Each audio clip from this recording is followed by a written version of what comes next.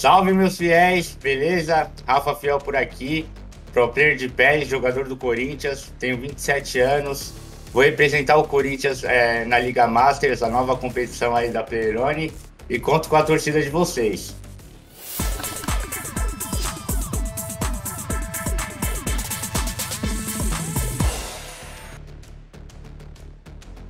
Então, eu comecei a me aproximar né, de videogame, de futebol virtual, é, lá no Play 2, começou a crescer essa paixão aí em mim. Porém, eu fiquei um tempo aí, né? Geração do, do Play 3 e do Xbox, eu fiquei um tempinho sem, sem jogar. E aí eu fui é, me reaproximar desse mundo mais ou menos ali em, 2018, no, no PES 18, né? E aí que eu, que eu me aproximei do jogo. E aí as coisas aconteceram um pouco rápido, né? Eu sempre fui evoluindo é, de pouquinho em pouquinho. Chegou 2020, eu tive meu primeiro contato aí com o cenário competitivo, que foi no EBR. E logo depois veio o Ego Open, que eu me joguei de cara, consegui me classificar, consegui entrar pro Corinthians aí no draft e fui campeão do, do Ego Pro também. Aí teve, teve esse ano maravilhoso aí que depois veio o Mundial, veio a, a indicação pro, pro Premier Sports e foi esse ano lindo aí para mim. Então, é, eu, eu fui pro, pra lista do Eagle Draft, né? Eu fiquei muito animado, porque apesar do Corinthians só ia poder fazer uma escolha, outros times eu acho que poderiam fazer até três, né? Eu fiquei animado porque tinha uma possibilidade, né? Porém, é, o Corinthians ia, era, a escolha era bem no final, então algum time poderia me escolher ali antes, mas é, eu acho que eu rezei tanto que, que ninguém me escolheu, o Coringão me escolheu e deu tudo certo, né? E assim, para mim, que sou corintiano, frequento a arena, é, já frequentava muito bem antes, então é uma sensação única, né? Que eu tô aproveitando cada, cada segundo, né? É, eu posso falar aí que eu sou um filho aí da, da Peroni, né? É, quando teve o Egol, meu, me joguei de cara. Eu tinha pouco tempo para jogar as competições, mas eu, o tempo que eu tinha, eu tava totalmente focado. É, abdiquei até de, de parar de fazer algumas coisas aí na minha vida para ficar jogando. E deu tudo certo. Consegui é, entrar pro Corinthians graças a Plerone. É, realizou esse, esse meu sonho. E é o que eu falo pra galera, é aproveitar as oportunidades, tá tendo agora oportunidade de novo pra galera e tem que abraçar essas oportunidades aí que a Playerone tá, tá mandando muito bem. Então, é, do Egol já tinha sido assim, é, surreal, né? O Corinthians postou nas páginas dele, é, a galera vem, comenta, é, começa a te seguir, começa a criar um vínculo com a torcida, né? Isso daí é gratificante. Do Mundial também, eu já, já tava assustado com, com o alcance que, que tava sendo do Egol, e aí do Mundial foi, foi bem mais, né? Eu, minha vida ali nesses meses aí foi, foi uma loucura, assim. Até eu voltar pro normal mesmo demorou um pouquinho. Eu tava meio meio entusiasmado com a, com a situação, né? Nunca tinha passado por isso, né? Nem perto disso.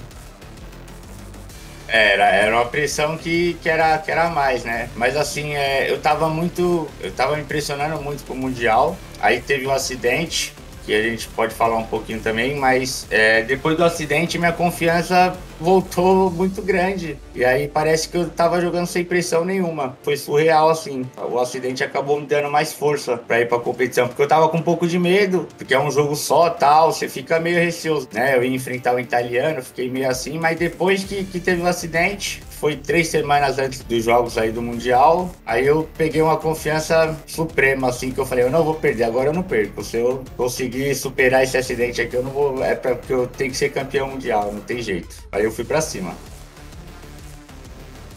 É, que foi, tipo, foi muito corrido. Teve o Ego que foi em, em maio, a gente foi campeão em maio. Aí já em junho, pro dia 15 eu me classifiquei, 15 de junho. E aí no dia 24 de junho eu tive um acidente. Eu tava lá no, no meu trabalho tal, desmaiei. Aí eu caí de uma plataforma, e tem até a cicatriz aqui na testa, ó. Não sei se dá pra ver direito.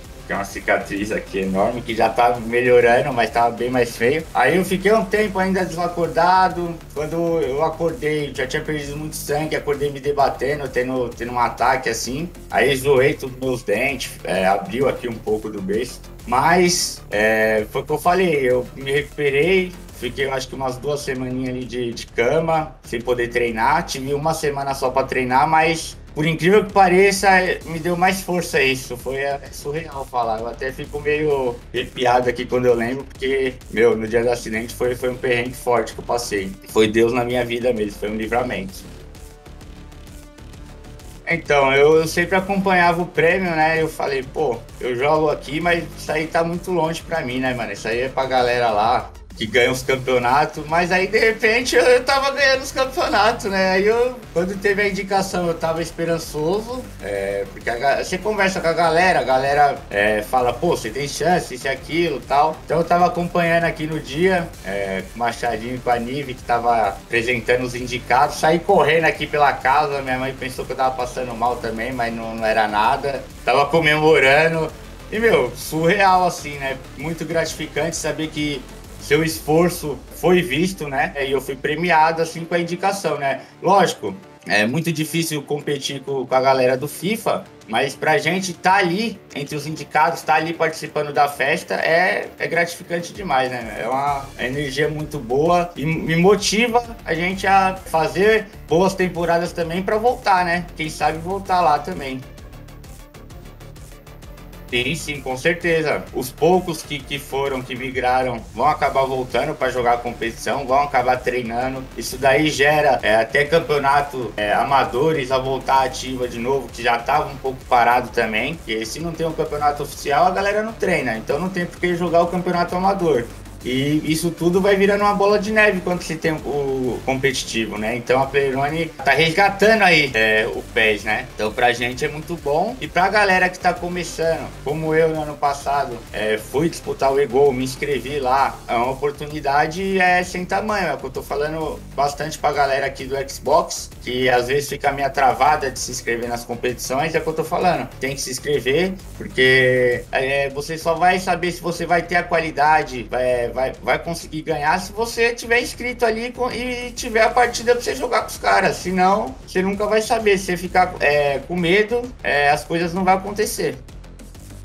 Então, é, vou me dedicar bastante, rapaziada. Treinar muito. Já voltei aí a rotina de treinos com a galera. Vou estar tá muito focado na competição. Não vou prometer título nunca, porque eu sei que, que é complicado. Mas eu, eu prometo que eu vou é, entregar um bom futebol. E quem sabe aí a gente é, consiga alguma premiação, né? Vamos ver. Peço que a, que a torcida do Corinthians chega junto aí, porque essa energia é muito boa. Essa, essa experiência aí de, da torcida junto pra gente dá uma força, querendo ou não. Pelo menos pra mim, eu acho acho que no Egol deu uma força extraordinária, então eu conto com vocês aí para sair vencedor de novo aí disso, né?